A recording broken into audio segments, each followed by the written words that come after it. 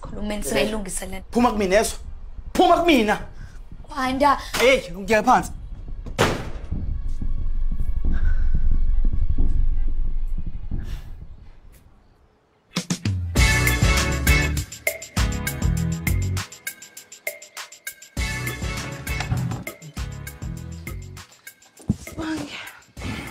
Usuvukile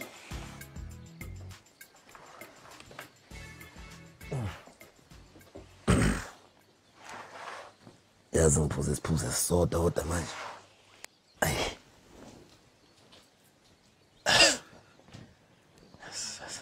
Ukuthi kwenzakalani khuleka khuleka senzanga lutho. asenzanga lutho? Manje pho kwenzakalani? Noma mhlawumbe khona into wrong ngiyenzile? Awunalo iphutha mfana. Kodwa ugibele isitimela esiya kwagoqanyawo ingakho uzofa ufela izono zikababa wakho. Sizwana ngithi? Kanjomane wenzeni manje futhi njomane udubule umshana wami. Uvike izitha amagwaza umshana?